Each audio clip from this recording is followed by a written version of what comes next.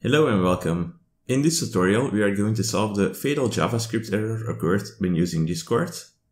Usually this is related to corrupt application files in Discord, or in some cases it might be that a different application, most likely a virus scanner, causes issues. In the first step we are going to uninstall Discord. To do this, click on the Windows search bar and type in apps and features. Scroll down until you reach Discord. Click on it and select uninstall. After that, click on uninstall once more. Wait a short bit for the uninstall to complete. Before we reinstall it, we need to delete some files to make sure that every corrupt file is gone. If you skip this step, you risk having the same temp files which could result in a fatal JavaScript error. To do this, we need to open run. Use the keyboard combination Windows R to open a run window. Type percentage app data percentage and hit OK. This takes you to your app data folder. Here you need to delete the Discord folder. If you have an older PC or lots of software, you might have much more files in the app data folder. Generally speaking, if you want a faster performing PC, it's a good idea to occasionally delete everything inside of this folder.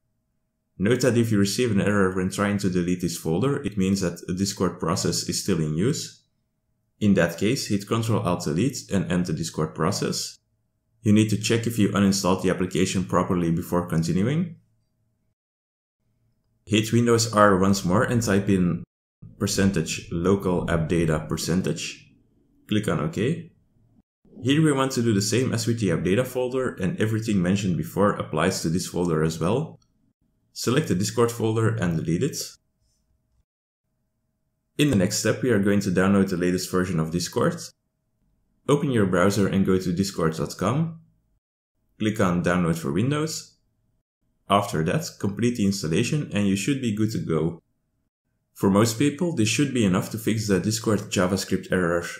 If you are still having problems, continue to the last step. The next two are short mentions which are worth investigating. The first one is to check if your virus scanner might be interfering with Discord. A simple way to do this is by temporarily disabling your virus scanner and checking if the fatal JavaScript error stays away.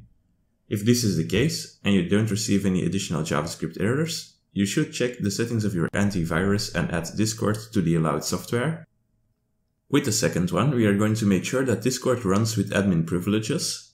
Use the keyboard combination Windows R to open another run window enter percentage local app data percentage, navigate to the Discord folder, open it and check for a folder that starts with app and ends with a number.